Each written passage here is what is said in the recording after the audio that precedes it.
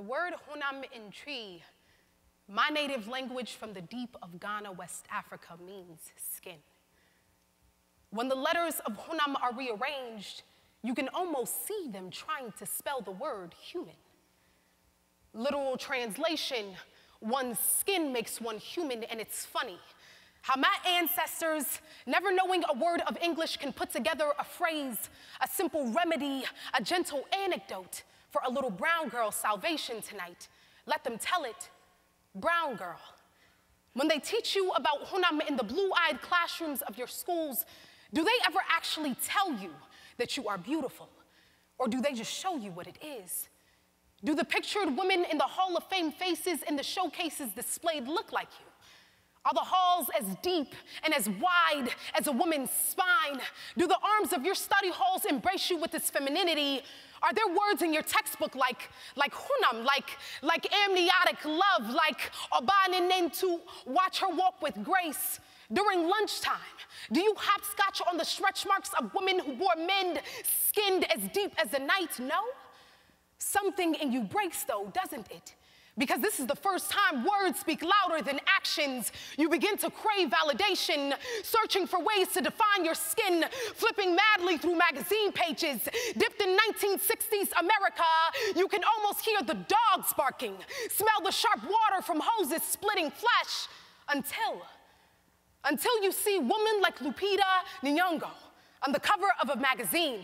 Then, and only then, is everything okay? Because, because she looks like you, right? And finally, finally, you found your definition of beauty, but, but let them tell it you do not need a magazine cover to tell you that you are beautiful, brown girl. You are beautiful no matter your paper brown. Even the stars, stolen in their infinite grace, only show up at the darkest point of night, showing their faces, me and you. We're going to relearn what beauty really is because, because who taught you that the value of a woman is the ratio of her waist to her hips and the circumference of her buttocks and the volume of her lips? Your math is dangerously wrong. Her value is nothing less than infinite, like the galaxy, like the stars, like the night, like your skin, like Lupita's, like, like you weren't here before she got here. Like the only reason they look at you is because of her. Like, like the only reason black is beautiful is because of her. Like, like black been beautiful because of you. Like when will someone recognize you? Don't you see? You exist too, brown girl. What about you? And what about me? And what about us? This war we've been fighting brown girls hurt and bleeding, brown girls splitting skin, not knowing how to love themselves, breaking. And truthfully, I wish I was a poet so I could color the pain in these words with beautiful rhythm, because no one will believe you're beautiful until you think you are, until you feed it down people's throats.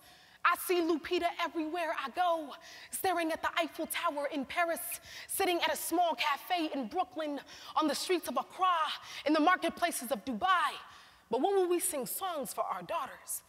Hide love poems deep within the hum of their lullabies and bedtime stories so that when they sleep, they won't lose themselves in the dark. When will we believe? And honestly, I know you listen to these poems, but in between the lines, deep within these words, look for you. Look at how your honam shines, brown girl. Look for you. Thank you.